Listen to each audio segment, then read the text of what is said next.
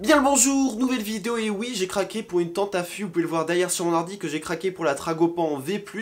Euh, J'avais dit sur une précédente vidéo qu'en fait j'étais pas fan des tentes à fût euh, parce qu'en fait j'ai peur de me le faire voler et oui ça se comprend c'est logique c'est quand même euh, un sacré investissement ça coûte 130 euh, euros donc c'est pas donné. Et du coup j'ai peur de, du vol tout simplement parce que l'avantage que j'avais avec l'affût que j'ai pu construire c'est que je pouvais le mettre longtemps sur un spot et du coup les animaux peuvent s'habituer à la présence d'un nouvel élément sur leur environnement. Alors que là bah du coup je suis obligé de faire du one shot c'est à dire que je le pose je prends mes photos et je repars et du coup ils ont pas le temps trop de s'habituer et du coup bah je garde mon affût que j'ai pu construire, mais j'aurai euh, cette tente affût. Et du coup, vous allez me dire, bah, à quoi ça sert du coup? C'est tout simplement pour euh, tous les animaux qui sont assez sensibles, que ce soit euh, les oiseaux ou les espèces qui sont sensibles au niveau du mouvement. Donc je viens juste de la commander, donc j'espère que je vais la recevoir d'ici quelques jours, à mon avis. Ils sont assez rapides. D'ailleurs, j'ai commandé ça sur Jama, bien sûr que tous les photographes animaliers connaissent ce site parce que c'est juste le top pour tout le matos, que ce soit pour les pièges photos, pour le camouflage, euh, pour des tentes à fût là. Euh, c'est vraiment le top. Alors si vous le connaissez pas et ce qui me paraissait vraiment bizarre, mais en tout cas pour ceux qui débutent, euh, je vous conseille vraiment d'acheter ça sur ce site. Là, la tente que je viens d'acheter coûte 130 euros, donc ça reste un prix assez élevé, mais pour une tente une place, c'est très raisonnable, hein, on va pas se mentir, je pense que c'est une des plus basses au niveau du prix. Ce qui est assez pratique aussi pour l'avoir vu juste dans la vidéo, c'est qu'elle me paraît assez grande, alors je vais vous dire ça après, une fois l'avoir utilisée, mais elle paraît assez grande du coup pour poser un trépied, plus le sac, plus l'objet, c'est très correct en tout cas euh, pour être à l'aise. Parce que oui, j'achète la tente affût pour être à l'aise, hein, parce que je peux euh, euh, rester sur mon affût que j'ai pu construire, mais malheureusement, bah t'es pas très à l'aise, t'es pas très camouflé, il y a quelques points négatifs, hein, et ça je le cache pas, mais il y a quand même beaucoup de points positifs d'avoir construit un affût euh, soi-même, mais bon là du coup j'aurai les deux. Après je dis que le point négatif c'est qu'on peut pas laisser la tente affût euh, longtemps sur son territoire, enfin après on peut mais au risque et péril quoi, euh, mais au final on a juste à bien la camoufler et ça passe très clairement, j'ai vu pas mal de vidéos où les gens se camouflent correctement et du coup le, nouvel élément qui est mis sur son environnement ne gêne pas du tout l'espèce. Donc voilà, ça c'est un truc à savoir, c'est que euh, malgré que tu ne peux pas la laisser longtemps euh, par peur de se faire voler, si tu le camoufles bien, ça ne dérange pas du tout. Et du coup je vous retrouve dans quelques jours parce que Jama sont assez rapides au niveau de l'envoi. bah, je vous laisse tout simplement regarder dans la description, je mettrai le lien vers Jama le site et euh, du coup le lien vers la tente à fût si vous voulez l'acheter. Et je vous laisse pour la suite de la vidéo où je vais tout simplement ouvrir mon colis et je vais ensuite faire une petite vidéo où je euh, vous explique les points positifs et les points négatifs de la tente à fût. Bien le bonjour, on se retrouve 6 jours après le début de la vidéo, j'ai enfin reçu la fameuse tente à fût, ça me fait vraiment plaisir, j'ai tellement hâte de la déballer, vous imaginez même pas. Euh, j'ai eu un petit problème à la réception du colis ce matin, j'étais pas là, du coup obligé d'aller à la poste pour faire nanana pour récupérer, au final je l'ai récupéré assez vite. Et puis let's go, hein let's go déballer tout ça.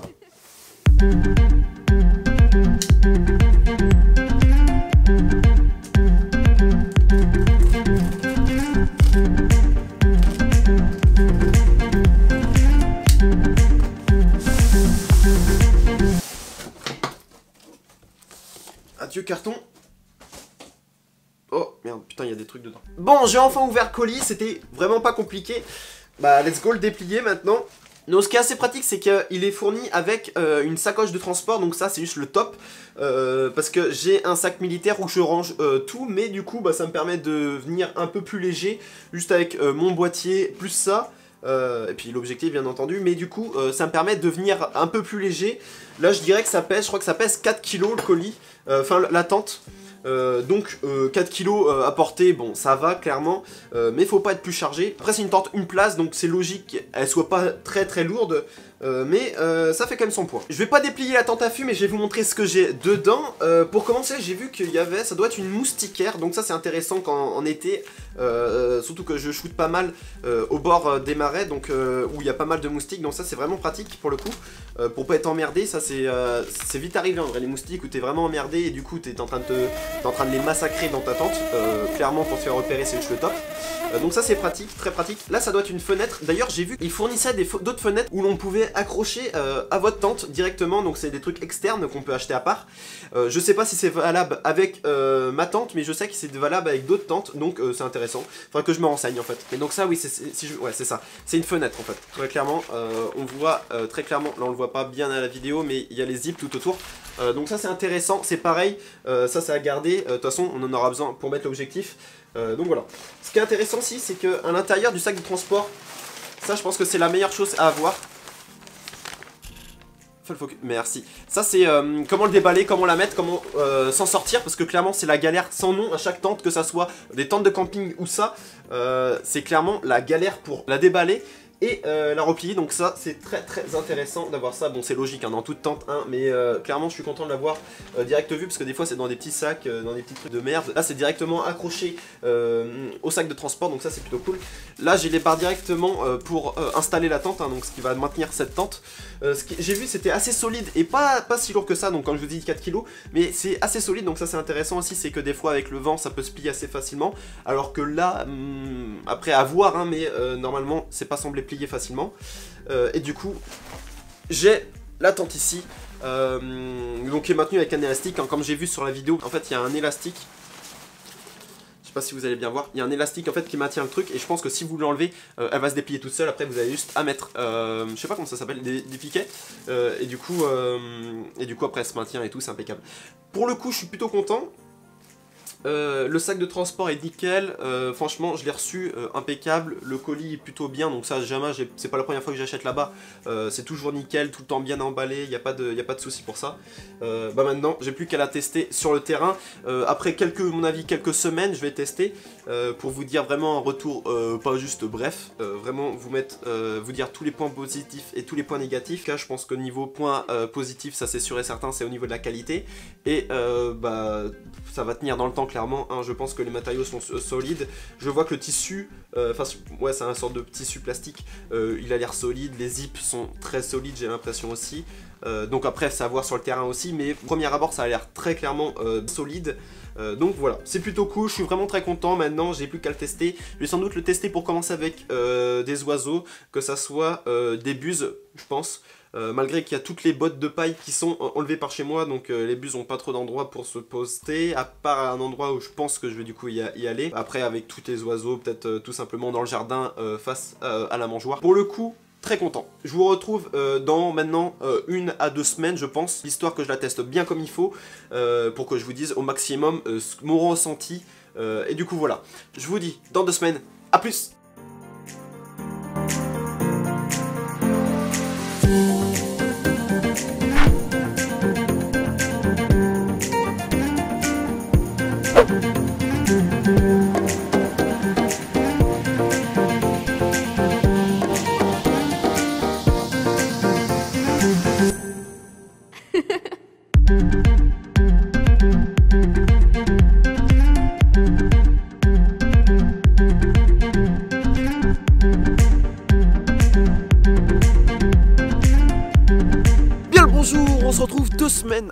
j'ai enfin pu tester la fameuse tente à fût. Franchement, c'est vraiment euh, un régal d'y aller en affût maintenant parce que du coup, le confort est réel. On est clairement sur du 4 étoiles à peu près, hein, parce qu'on a juste une chaise encore, on a un dossier, donc ça c'est pas mal.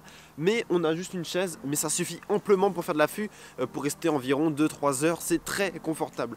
Donc euh, je vais vous parler des avantages et des défauts de cette tente à fût, parce que oui, il y a des défauts et oui, il y a des avantages, bien entendu. Donc. Pour commencer, je vais vous parler du défaut, comme ça, ça sera fait, ça sera passé. Surtout qu'il y en a très peu au final. J'en ai retenu vraiment que deux. Donc le premier défaut, c'est qu'il coûte assez cher à l'achat. Ça m'a coûté quand même 130 euros. C'est pas une petite somme, c'est quand même un investissement à faire mais euh, vous allez très facilement le rentabiliser avec les heures d'affût, le confort qu'il y a.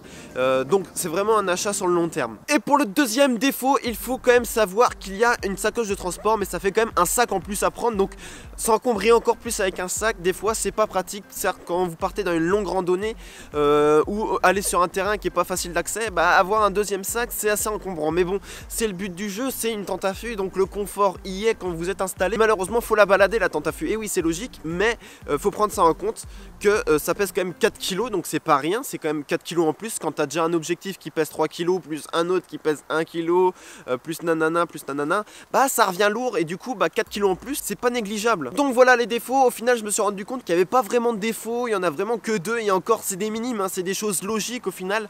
Donc bah vraiment c'est vraiment intéressant d'en prendre une. Je continue la vidéo dans la tente à fût parce que là il commence à bien pleuvoir. Si j'ai pas envie d'être trempé, je vais éviter de rester ici. Donc je continue la vidéo dans la tente à fût, on sera à l'aise. me voilà dans l'affût, un avantage que vous pouvez très clairement voir maintenant, c'est le confort et la place, parce qu'au final, bah euh, là vous pouvez pas voir, mais je, suis à bout de bras et je ne touche même pas le bout. Euh, donc c'est pour vous dire qu'il y a vraiment du confort, je dirais 1m20, 1m30. Donc pour le coup, tu as très clairement la place de poser euh, une chaise. D'ailleurs, j'ai une chaise avec un dossier, donc c'est pour vous dire euh, une bonne grosse chaise hein, euh, de très confort, de camping. Hein, hein, pour ceux qui font du camping, ça fait plaisir. Et, puis j'ai largement la place de mettre mon, trépied, d'ailleurs, qui n'est pas un petit trépied, c'est pas un trépied acheté sur Amazon, c'est un bon gros trépied. donc j'ai très clairement la place de mettre tout mon matos pour être correctement assis et bah, au confort en fait, parce que j'ai acheté une tente à fût, pour avoir un confort, ça c'est sûr. Pour le deuxième avantage, c'est au niveau de la solidité. Euh, franchement, le tissu est bien solide. Euh, j'ai pas l'impression qu'il va se casser, que ça soit aussi des arceaux qu'on met autour. Euh, j'ai pas l'impression qu'ils vont se casser non plus. Donc Franchement, au niveau de la solidité, top du top. À part, petit bémol, c'est au niveau du sac de transport. Euh, ça fait deux semaines que je l'ai, euh, deux trois semaines que je l'ai, et au final, bah, j'ai pas l'impression qu'il va durer vraiment bien dans le temps. Après avoir, hein, c'est clairement un truc. Euh, bah, après, je m'en fous, tu vois. J'ai, je préfère qu'ils mettent tout le budget. J'ai l'impression hein, qu'ils ont mis tout le budget dans la tente à fût. Ils ont un peu oublié le sac, mais au final, bon bah, tant pis. Je préfère largement qu'ils mettent tout le budget dans la tente à fût et que j'ai une tente bien solide que avoir un sac solide et puis le reste, bah, moi quoi. Donc franchement, à voir dans le temps, ça se trouve je me trompe, mais j'ai l'impression qu'il est pas trop solide. Et pour la dernière qualité, j'en loupe certainement euh, des qualités, mais j'ai pas envie de répertorier tout. Je vais faire un truc vraiment simple et aller à l'essentiel. Euh, donc pour le dernier avantage, c'est la discrétion. Hein. c'est pour ça que je l'ai acheté, c'est pour être un minimum discret. Et au final, bah, sur le tissu, il y a un petit camouflage incrusté dessus euh, avec des feuilles et tout. Et du coup, bah, niveau discrétion, c'est plutôt pas mal. J'ai rien à dire. Après, un conseil que je peux vous donner, c'est de couper des branches à côté ou mettre un peu de, du foin, je sais pas, en fonction d'où vous êtes, des petites feuilles et tout, pour amplifier le camouflage et vraiment euh, vous dissimuler dans l'environnement où vous êtes. Moi personnellement, par exemple, là, euh, euh, je me suis mis juste à côté d'une boîte de paille et du coup, vu que le truc est un peu près rond et ressemble à, des teintes un peu claires, et bah du coup, je me dissimule vraiment au niveau des boîtes de paille et donc c'est plutôt cool. Après, un autre avantage que je viens de penser, c'est au niveau des ouvertures. On est pas mal fourni pour observer. J'ai deux petites ouvertures en face de moi une sur le côté, euh, enfin deux sur le côté et une grosse derrière et euh, une pour placer mon trépied, euh, enfin le pied d'un trépied et, et pour passer aussi l'objectif par-dessus. Donc au niveau des ouvertures, on est vraiment très bien fourni, on n'est clairement pas limité pour la vision. franchement, on est vraiment bien. D'ailleurs, ils, ils fournissent aussi un petit, une petite ouverture pour glisser votre objectif dedans pour qu'il soit à l'abri de la pluie. Donc ça c'est plutôt cool et c'est très bien pensé pour Tragopan. Donc voilà la fin de la vidéo, j'espère qu'elle vous aura plu en tout cas j'ai essayé d'être le plus clair possible et vous donner un maximum d'informations euh, pour que vous l'achetiez. N'oubliez pas c'est la Tragopan V5, vous trompez pas parce que ça serait con euh, d'acheter la mauvaise, en tout cas une que j'ai pas pu tester. Euh, moi franchement je dis que du bien dessus, c'est clairement un achat que je regrette pas du tout et que j'utilise de plus en plus que ça soit, enfin je vais de plus en plus d'affût donc au final j'utilise de plus en plus c'est logique mais c'est vraiment un achat que je vous conseille à 2000%. Franchement allez-y les yeux fermés vous allez clairement pas être déçus.